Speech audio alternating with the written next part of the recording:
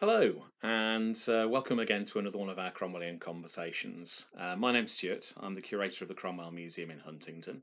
Uh, it's my pleasure to be with you here again as we're discussing another aspect of 17th century history from the time of the British Civil Wars in the mid 17th century and the life and times of Oliver Cromwell. Um, the Cromwell Museum in Huntingdon has the best collection in the world of items relating to Cromwell, who we recognise as one of the most controversial and divisive figures in British history. Uh, it's not our job to be his kind of fan club, if you like. Uh, we basically tell his story, warts and all, using this amazing collection of original objects that are relating to him and this incredibly significant period in British history.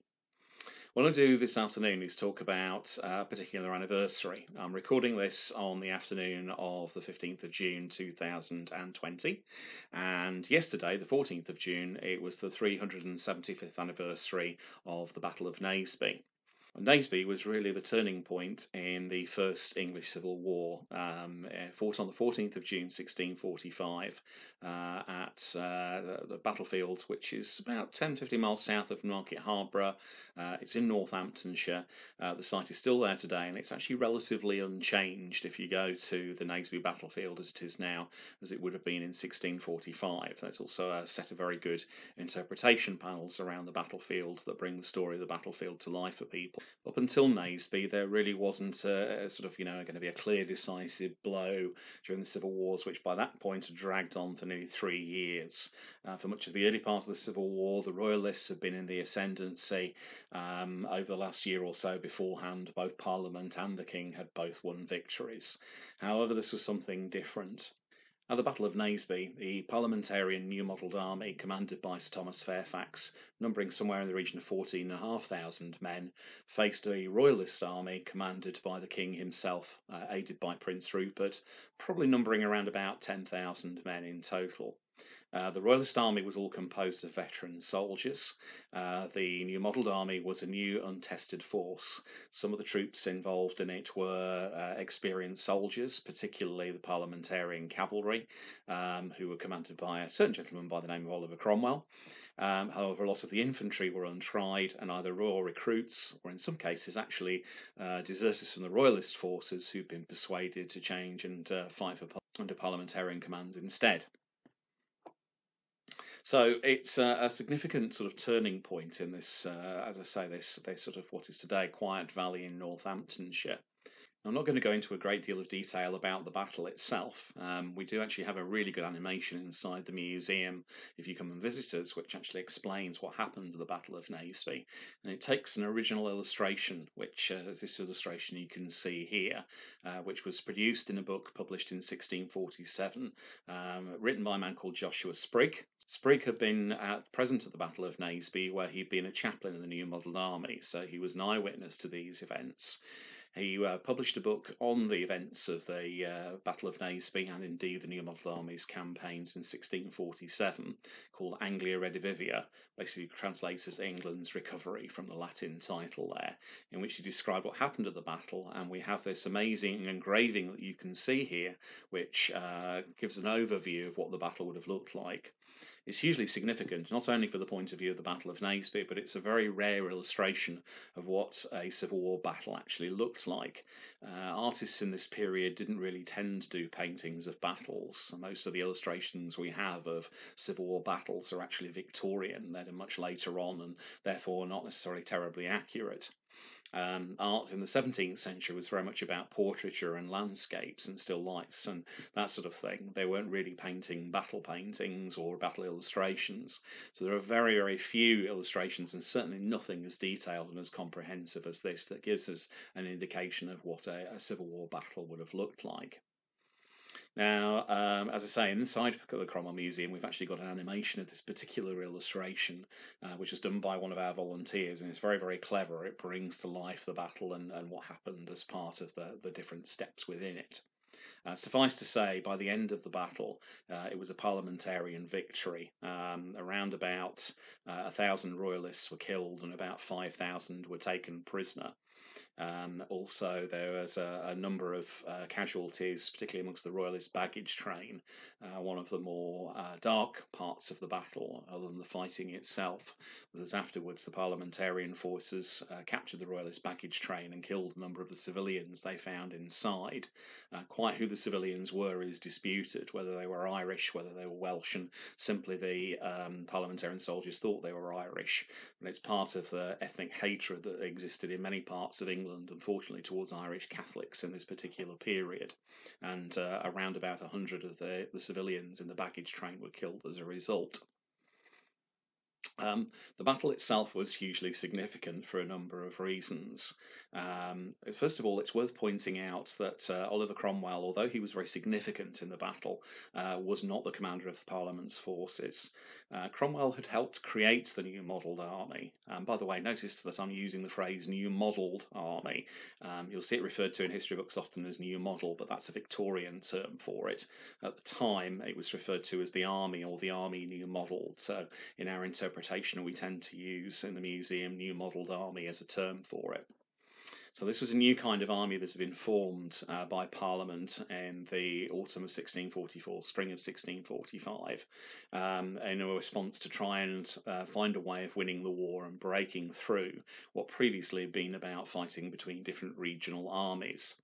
Um, Cromwell had been instrumental in the foundation of this, not in the terms of the army itself, but in terms of the new officer structure.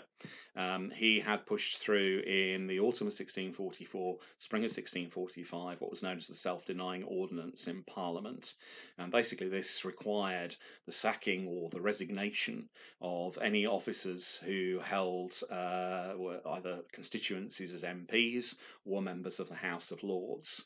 Up to that point, many of the officer class in Parliament's army armies have been there as political appointments rather than because of their military competency. And therefore, it was part of the uh, political programme of Cromwell and a number of his colleagues to get rid of the, the dead wood as they saw it. Of course, actually, this technically included Cromwell himself, although at the last minute, of course, there was uh, an exemption put in that any officers who were deemed to be competent could be reappointed, and surprise, surprise, that involved Oliver Cromwell. Uh, however, pushing this through Parliament meant that uh, Cromwell wasn't necessarily involved with the foundation of the new modelled army itself, which was founded and put together, as I say, from a combination of existing parliamentary forces, some new royal recruits, um, some also of the recruits were actually uh, royalist prisoners of war who were persuaded to change sides. And the idea was to create a new kind of army that was more professionally trained, equipped, better organised, better officered, uh, more standardised equipment. And for the first time, the whole army had a standardised coat colour. And for the simple reason that it was uh, cheap, and uh, for no other reason than that, they used red coats. And of course, the red coat stuck and is still worn by the dress uniform of the British Army even today. Um, the uh, the troops in the new modelled army were trained by their new commander, Sir Thomas Fairfax, who'd been a very successful commander in the north of England during the early part of the Civil War. Uh, Fairfax was a very experienced commander. He was very um, inspirational to his, to his troops, uh, thoroughly respected for by them and led from the front. Uh, he was also an experienced soldier, having fought on the continent in the Thirty Years' War. And it's Fairfax really who deserves much of the credit winning the first and indeed second civil wars for Parliament, he tends to get airbrushed from history a little bit, unfortunately, because of Cromwell's later significance. And he, with his infantry commander, Sir Philip Skippon, raised, trained, and organised a new modelled army. So they were an untrained, or rather untried and untested force um, for the first time when they, they engaged the Royalist forces at Naseby, and uh, therefore it was a real blooding for them. Afterwards, they became consistently victorious. It gave the, the, the um, confidence to carry on and win the war. The battle was also a turning point uh, as a disaster for the Royalist forces. Significant casualties, and uh, not only casualties but also soldiers captured. Um, around about half the king's army were lost, either by killed, wounded, or in many cases taken prisoner, including most significantly his infantry, many of whom were very experienced and veteran soldiers, and the Royalist cause would feel their loss very keenly. Um, it was also um, a sort of turning point from the point of view of uh, propaganda. only did, of course, it give a sort of decisive victory that sort of Parliament's news books could kind of crow from the rooftops, but also, of course, it was hugely important because at the end of the battle, the King's baggage train was captured. The King's cabinet uh, proved to be a huge propaganda coup for Parliament. Many of the letters were revealed to show the king negotiating with uh, foreign powers, and uh, therefore show that, uh, or began to sort of uh, put across the image that the king couldn't be trusted, that he was prepared to do anything in order to make sure that he maintained his throne. Real sort of turning point in the civil war, although at the time it appeared that the war would drag on for much longer, and of course it still went on for another year. In terms of Cromwell himself, he was present at the battle, only appointed to be commander of Par- the Parliament's cavalry in the new modelled army about 10 days before the battle, and literally only arrived with the army a few days beforehand. Um, so he was very much a late appointment. Day of the battle itself, though, he was hugely significant. He advised Fairfax that perhaps they should draw upon a ridge line where it would invite the Royalists to attack. Uh, he sent uh, dragoons mounted infantry round onto one of the flanks in order to provide supporting fire against the Royalist cavalry when they attacked. And uh, his cavalry on the right wing of the Parliamentarian army played a decisive role, driving off not only their opposing Royalist forces, providing his uh, traditional reserves to swing round and engage the Royalist infantry and indeed break uh, much of the uh, Royalist army. So Cromwell did play a significant part of the battle, but he wasn't in charge, it wasn't his victory, and Fairfax deserves much of the credit for what happened. So hopefully that gives you a bit of an overview over why the Battle of Naseby is significant. Um, if you want to find out more, do have a look at both the Naseby Battlefield Project's website and also that of the Battlefields Trust, both which contain a lot more information about the battle and also how to explore it if you want to go and visit the site. Uh, now lockdown is relaxing in the UK. Um, you can go and explore the battlefield itself. There's trails around the site, interpretation panels, and various monuments there.